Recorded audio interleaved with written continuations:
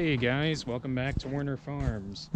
So today, uh, I'm in the 4630 today, and uh, we're drilling uh, rye cover crop. So the reason why we're out drilling this field over at the river, uh, it's just going to be this Justice 80, uh, is just because uh, we were going to have it spread, but our thought is is that this ground is very sandy up here, so we figure if we ran the vertical till across it uh, after it was spread to work the rye in, uh, it would blow, uh, just in case if there was some high winds and it would blow. So, and there are a lot of houses, including a church right beside us, so uh, we figure it'd be in our best interest just to drill it.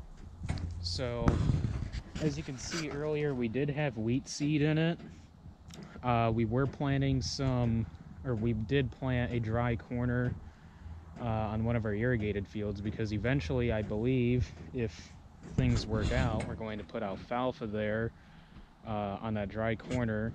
But since we had some wheat left we figure this is probably the worst part of this farm that little sand triangle ish if you want to call it a triangle and we figure if we just plant wheat there instead of corn the wheat would do a lot better than the corn and plus that'd do that ground some good.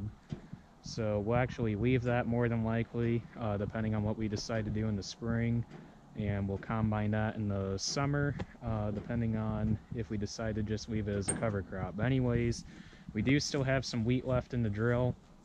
I went ahead and filled it with uh, the rye and we'll just drill out whatever we have left of the wheat and we'll just incorporate that into the cover crop out here. So just this 80 uh, the 60 the 25 and the 120-ish over yonder. Um, that'll all be spread and worked in with the vertical till so that's about 220 acres over there. So and then there's 80 just across the river and some back by the farm yet. So anyways, I'll go ahead and set the drill and uh, get to work.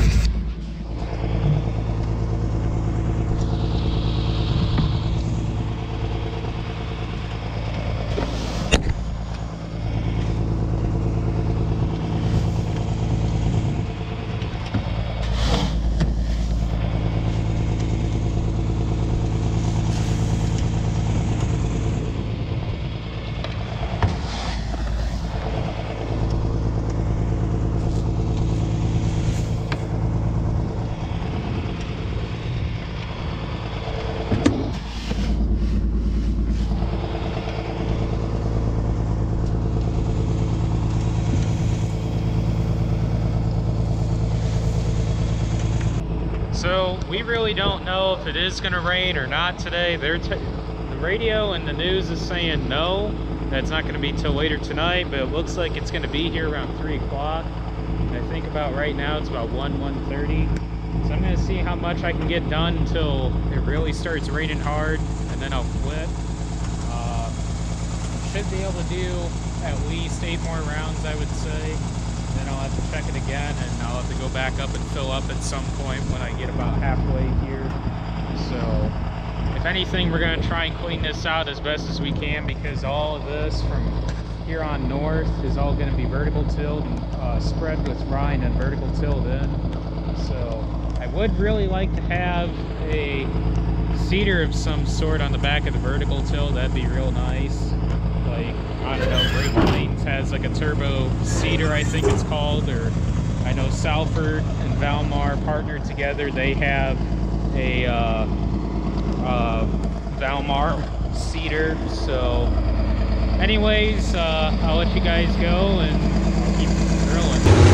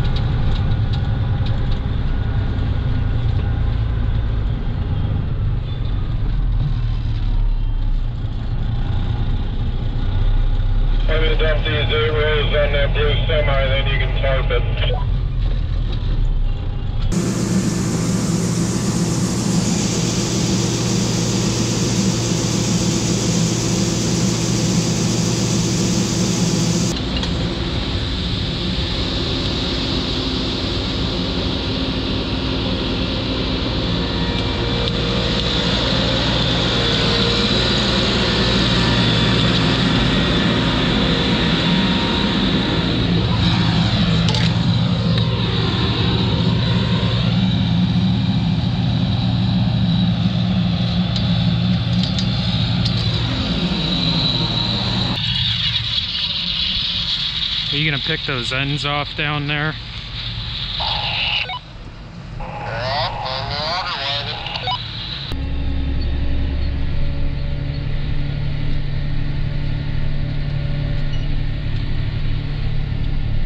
Well, as you can see, plans for my afternoon completely changed, and Dad got done picking uh, the 40 acres of down corn not really too bad a down corn, just more that he had to slow down to about two and a half to three and a half mile an hour to pick it. Not fun, but uh, it was either I pick it or he picks it, and he decided he was going to pick it, and I was going to go drill rye. So he got done with that early, so I got about half that field done. There's only about 40, 45 acres left over there at the river, and uh, we moved over to in front of our house and uh, opened up where the plot is.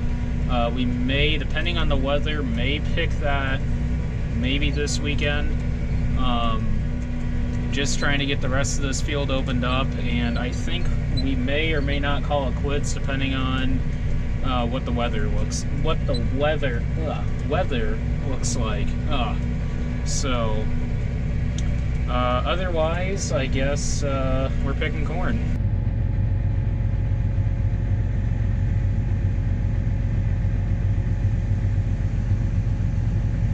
Awfully lot of 230 to 250 bushel corn in that pass. That's pretty good. I can't hardly believe it. Oh, especially for how dry this got.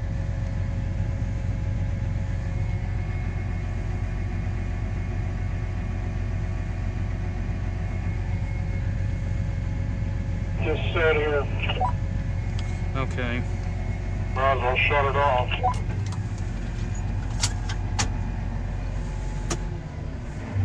So many of you are probably wondering uh, how far along we are on harvest just because I haven't done a full harvest vlog and I haven't really done a vlog since we've started harvest.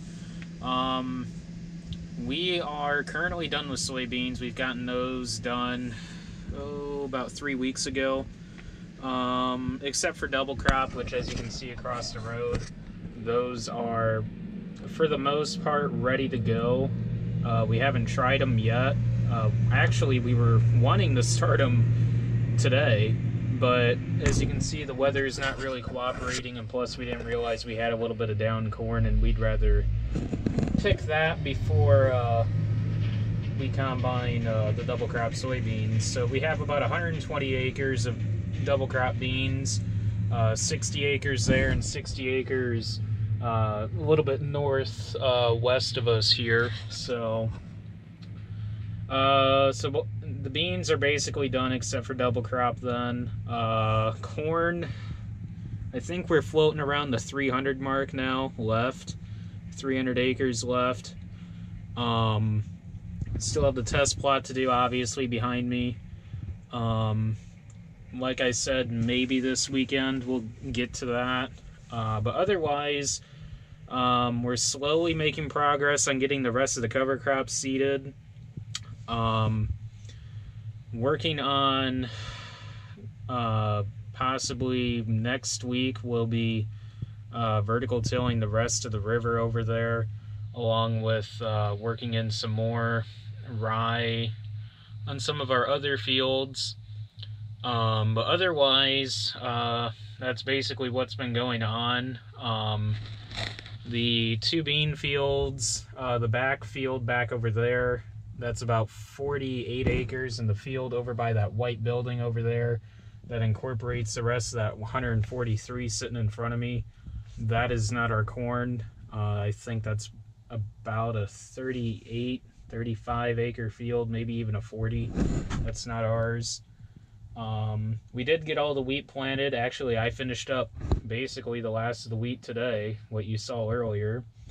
Uh, as you can see, some of our wheat's already up and has been up for about, oh, just about a month actually. So, um, otherwise, uh, basically the rest of the cover crop, except for the 45 acres I have left to drill over there at the river, is going to be vertical tilled in. Um, otherwise, that's basically it. Um, nothing too exciting except uh, depending on what the weather does here, uh, we may or may not continue picking. Just depends on if it looks like it's going to keep raining, then I guess we'll just pick the semis and the auger wagon here full and call it quits. But uh, we're not sure if we're going to haul this right in or if we're going to dry it. I think it's floating around that 15 16% mark, so pretty borderline. So we'll see. Also, while I'm thinking of it, yes, the building is done uh, as of oh, probably two weeks ago, a week and a half ago, two weeks ago, they got the building done. Um, basically, what Farm Builders has to do, except uh, put the doors on, uh, well, the garage doors. They have to come back and put the uh, doors that we have ordered, um, which were on back order until November 6th.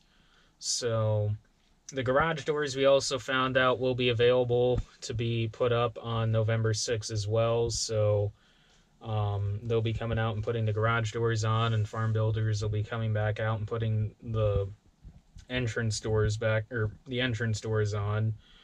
Uh, we replace the front doors on the shed, um, the entrance doors, um, with half doors, or well, not really half doors. They're like doors with half glass in the top of them, which is I wasn't really sure what I was gonna think of them, and I actually kind of like them. Uh, the back door, back by where the welding bench is, uh, in the back of the shed there, or back of the shop, I should say. Um, that's going to have a new door, which I've been wanting for about a year now because the door handle seems to be uh, not working as well as what it should, and the door is pretty well aged bad. So that'll be nice to have a new door there. Um, but otherwise, uh, that's basically it for farm builders. Um, any hiccups so far this harvest? Yes. Uh, if you follow me on Instagram, you probably saw that we broke the shaker arm or part of the shaker arm on the combine on the left side. So we got that fixed oh monday or tuesday of this week. Today's october 26th friday so um anything else? Uh the bo- or the top cushion box on the top of the north holding bin uh we ended up having to be or have having that be replaced because there was a hole war in it when we started running corn out uh when we were um, moving the rest of the old crop out uh, to make room for this year's corn. Um, since we only had about 15 loads, I think that we need to get cleaned out there in like August and September. So uh, we saw that, and we had Hotchkiss come out and replace the uh, top cushion box and uh, the the auger box underneath the uh, North Holding Bin also had a whole hole war in it, which we knew about.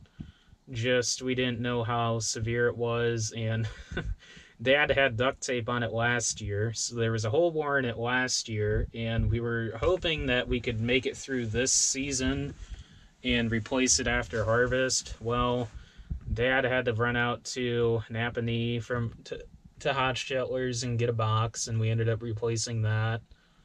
Um, that's basically it, except uh, uh, I think on the south holding bin, that auger, the auger that the, the load auger underneath the south holding bin, the bearings going out. So uh, after harvest, we're gonna have to replace that. That load auger loads the dryer as we have both the north and the south holding bins uh, set up to uh, store wet corn. So really, those are wet tanks that load um, the dryer. So once one gets empty, it automatically switches over to say either the north or the south one, depending on which one it emptied, and henceforth keeps filling the dryer. So otherwise, uh, that uh, 60 acres in front of me will be getting cover crop eventually because that is in the cover crop program. So that will be vertical tilled in with rye. Um, oh, there's a triangle field back over there that is going to be vertical tilled in with rye as well.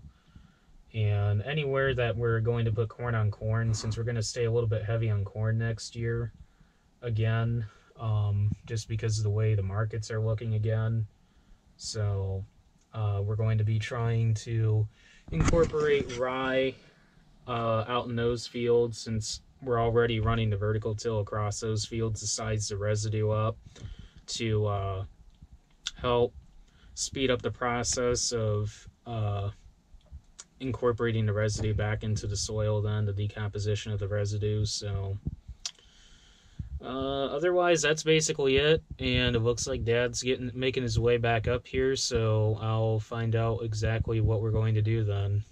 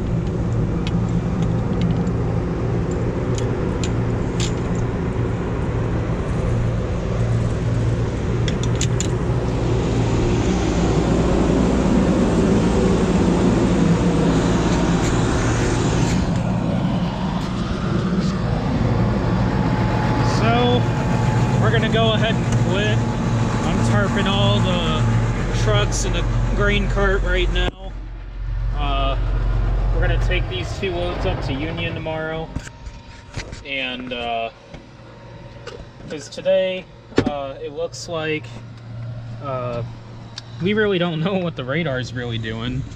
Uh, if it's gonna rain, if it's not gonna rain, I may or may not potentially go back over to the river and potentially get most of that knocked out, if not possibly, depending on what the weather does, uh, all of it knocked out. So that'll be good if I can do that. But now it feels like it's raining. So I don't know. Depending on what goes on, that may or may not happen tonight. If not, tomorrow morning I'll get up and do that. So anyways, thank you guys for watching. I know this is kind of an all over the place vlog. Um, I did get monetized, so I will be picking up the pace on these. I know many of you guys are asking me if I was monetized or not. So otherwise, thank you guys for watching. Don't forget to like, comment, and subscribe down below, and I'll catch you guys in the next video.